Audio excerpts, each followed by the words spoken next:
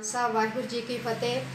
ਗੁਰੂ ਮਹਾਰਾਜ ਜੀ ਦੇ ਜਨਮ ਦਿਹਾੜੇ ਦੀਆਂ 550 ਸਾਲ ਦੇ ਸੰਬੰਧ ਵਿੱਚ ਸਾਧ ਸੰਗਤ ਨੂੰ ਦੇਸ਼ ਵਿਦੇਸ਼ ਵਿੱਚ ਵੱਸਦੇ ਸਿੱਖ ਭਾਈਚਾਰੇ ਨੂੰ ਸਾਰਿਆਂ ਨੂੰ ਅਪੀਲ ਕਰਦੇ ਆ ਕਿ ਗੁਰੂ ਨਾਨਕ ਮਹਾਰਾਜ ਜੀ ਨੇ ਜੋ ਕਿ ਉਪਦੇਸ਼ ਦਿੱਤਾ ਸੀ ਕਿ ਵੰਡ ਕੇ ਛਕੋ, ਕਿਰਤ ਕਰੋ, ਨਾਮ ਜਪੋ ਤੇ ਇਸ ਤਰ੍ਹਾਂ ਸਾਰਿਆਂ ਨੇ ਉਹਨਾਂ ਦੇ ਦੱਸੇ ਮਾਰਗ ਤੇ ਚੱਲਣਾ ਤੇ ਸਾਰੀ ਸਾਧ ਸੰਗਤ ਨੂੰ ਬੇਨਤੀ ਕਰਦੇ ਆ ਕਿ ਮੇਰੇ ਵੱਲੋਂ ਔਰ ਸਾਰੇ ਦੇਸ਼ ਵਿਦੇਸ਼ ਵਿੱਚ ਵੱਸਦੇ ਪੰਜਾਬੀਆਂ ਨੂੰ ਲੱਖ ਲੱਖ ਵਧਾਈ ਹੋਵੇ ਜੀ।